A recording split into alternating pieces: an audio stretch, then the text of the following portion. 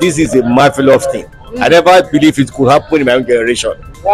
Finally, the Lagos Blue Rail line is now operational and open to commuters. Globally, the Lagos Blue Line Rail joins the ranks of iconic urban transit systems such as the Algiers Metro, Rovos Rail Pretoria, Addis Ababa Rail, the London Underground, Luanda Light Rail, and the New York City Subway. Today, I will be taking you on a ride on the $1.2 billion rail line, providing you with details about the operations of the rail line, the train's features, ticket prices, routes for the Blue Rail line, and asking people about their experience on the Blue Line Rail. Let's go! The Lagos Blue Line Rail project is a 27 kilometer rail route designed to run from Mile 2